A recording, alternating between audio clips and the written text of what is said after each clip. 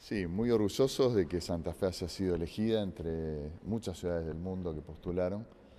para tener este regalo, que fue el trabajo durante un mes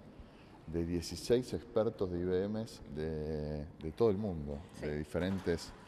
países de todas todos los continentes del mundo, que estuvieron trabajando para cuatro eh, instituciones, para la municipalidad, para la Asociación Dirigentes de Empresa, para la Universidad Tecnológica Nacional y para el Banco de Alimentos, ayudándonos a cada uno de los este, beneficiados por este trabajo tan profesional de expertos de primer nivel del mundo en el desarrollo de nuestros propios planes, ¿no? en el caso del municipio, cómo trabajamos mejor con la información. Eh, decía eh, Andrea Balsaña, algo que nos enseñaron los de IBM, que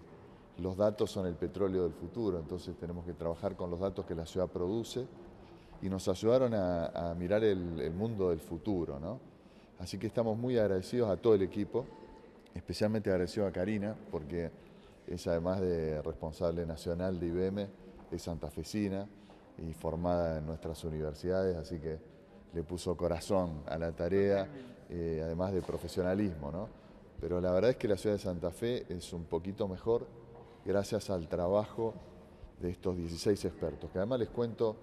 fueron a la cancha Unión y de Colón, tomaron cerveza, comieron pescado, eh, disfrutaron de nuestro paisaje, se vincularon incluso con eh, instituciones y gente de la ciudad y seguramente se van también con algunas competencias nuevas y eh, con la vivencia de haber estado en Santa Fe durante este mes, que nosotros valoramos extraordinariamente, así que estamos muy agradecidos. Karina, espero, ¿con qué se encontraron aquí en la ciudad?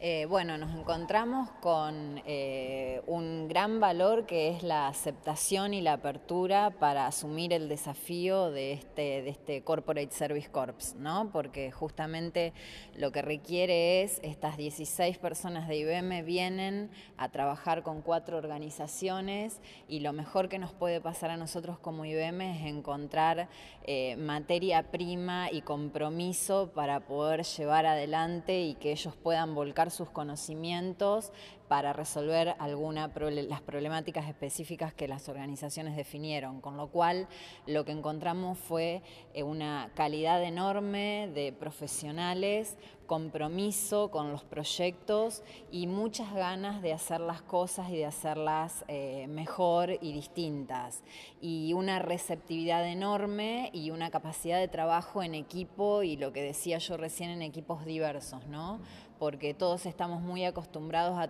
trabajar más o menos siempre con la misma gente y esto es una, una cuestión bien disruptiva, que es gente con experiencias eh, diversas, profesionales, personales y obviamente del mundo, que se insertan a trabajar con la realidad local y las personas que tienen cada uno su realidad local. Y eso creo que suma mucho valor y nos encontramos con una apertura enorme y bueno, el resultado es, es muy positivo. Y obviamente ahora ganas de continuar con las hojas de ruta que, que los consultores dejan en cada una de las organizaciones.